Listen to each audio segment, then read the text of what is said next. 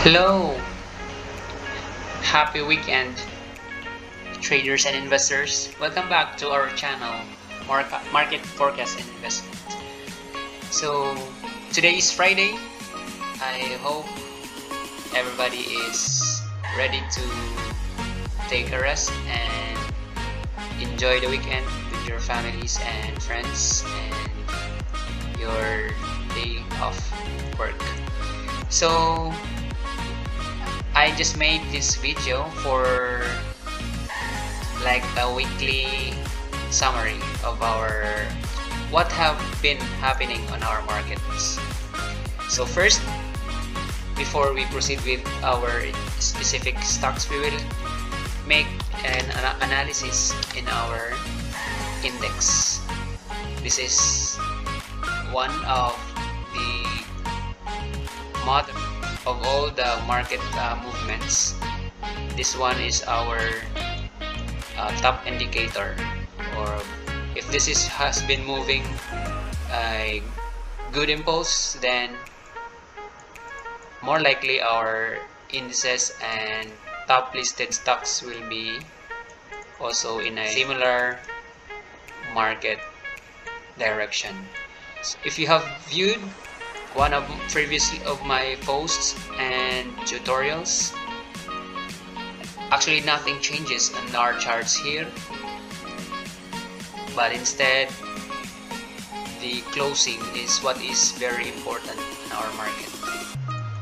So our weekly candle just closed today and then it didn't manage to close above the weekly opening which was at 7078 it closed around 7007 but anyway not really that focus on that area because uh, that's too specific.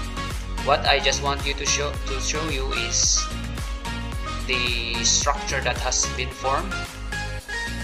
And in coincidence with our previous analysis of our index so let me make this quick so that we can proceed with for this weekend we will tackle around five stocks which have we have made uh, analysis before. So we have the same um, forecast that our market is heading.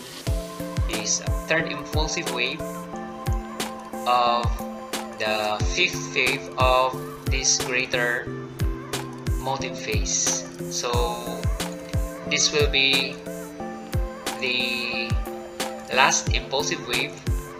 So this I'm talking about this one. So this one is the next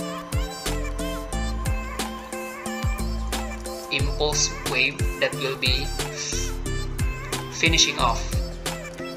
So on my first videos I reiterated that our index is like to target this area or we're likely to finish with this wave 5 of so this is a fifth wave fifth minor wave of the fifth impulsive wave of this market cycle.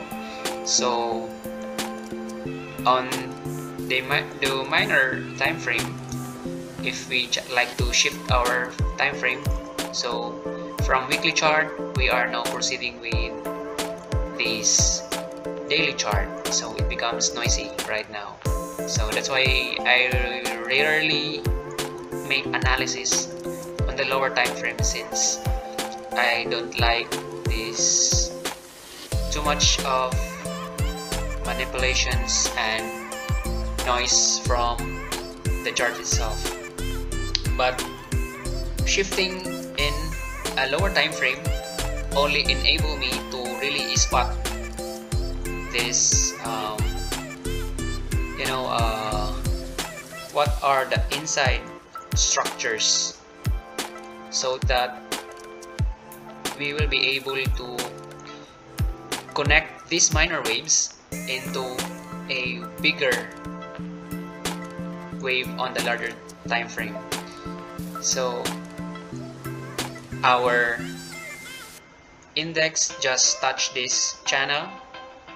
I have mentioned before that this will be a triangle possibly a triangle. So it touches this area. So if this will be reject this is this was already rejected this area. But at the last day of the week immediately this gap right here was filled up. This gap is there this gap it, as I mentioned before these are the areas where um, buyers if it's bullish the buyers was overcome by our sellers and then immediately it concluded with the gap was filled before the weekend. So by using this uh, idea and strategy so we are now ready that the market will be having a minor correction right here. So for the next week we may experience um, our index like do some this. Then prior to make a higher high. So when this is validated um, our index will be already starting to shift and then it will target this uh, third impulsive wave of our bigger motive phase. So enough of that so after you, we use this we utilize this um, idea.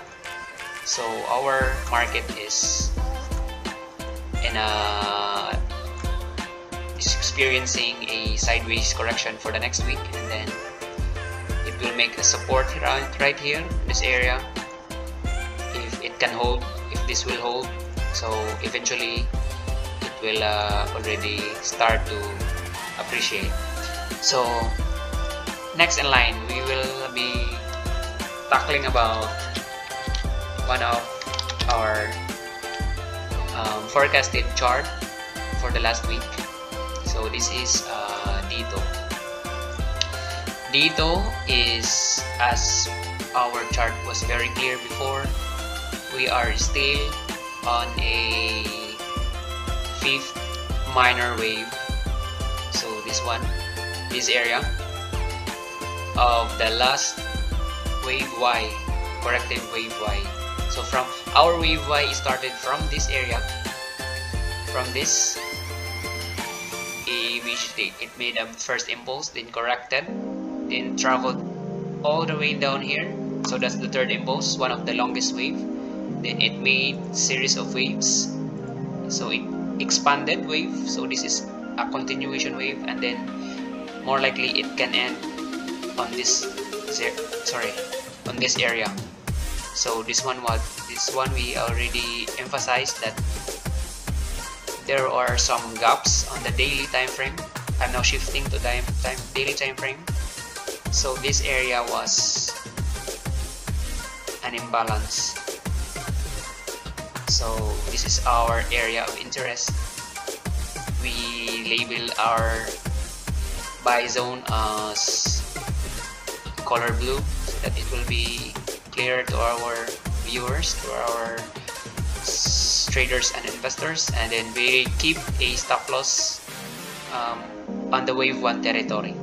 So one of the violations of um, Elliott wave theory is that the corrective phase especially wave wave 2 or our wave wave 4 it should not touch our wave 1 territory. If it will break and it will uh, really penetrate this area so our analysis is invalidated so we have to make a recount. So we remain bearish for this and then we only spot for the discount price of 4.2 4.22 so next in line um, we take we make a weekly analysis of Monday Monde Nissin Corporation. So as you can see, uh, this we shift to the weekly if the sentiment is right so see we are keeping our position here from 13.48 to 0.5 so the weekly candle class just closed so it revealed the true market sentiment. So it's still a bearish candle. So more likely um, if uh, this uh, continues we shift to our daily time frame. So on the last day it's a normal uh, normal sentiment. If the market to make this the market makers preserve their positions. They will be mitigating its positions by selling off and lowering the positions. So they already made it right here this this way. So we can reaccumulate if this uh, area will be revisited. And then we hold to our target we keep our target on this level so up next uh, we have we will uh, analyze around TMC uh, we have already made a analysis on this stock. So we will just monitor if our analysis is still validated. So we have to remove this area for a clearer view. So for those who have not yet watched uh, we have a analysis on this and our so this one we have a made of good wave one then a wave two correction then our projection is will be on the next few weeks and months and years. The price will try to complete this wave 3 impulsive wave so our wave 3 impulsive wave will have a target of around 12.96 so it's the true profit is by holding our positions, sticking to our plan and our risk management. So it closes, the candle closes right and closes a bullish candle. So we remain that our validate that our analysis is validated and then this is a our wave 4 was, was already completed. So interest can be made can then be made if uh, there will be a sideways or shall we say a correction that is that will be happening on a daily. So we always made an entry if price will revisit this area. Around 8.4 and 8.5 so we still uh, fix our target um, is 12.96 so up next we will tackle with about one of uh, top traded last week before. This was uh, halted in the LME Europe market. So this one uh, yeah the week has been good. The week closed just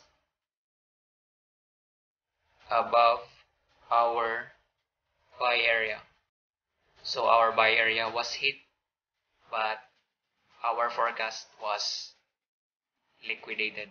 Our stop loss which is which was 2.57 this was uh, liquidated in this area. See? this was manipulated here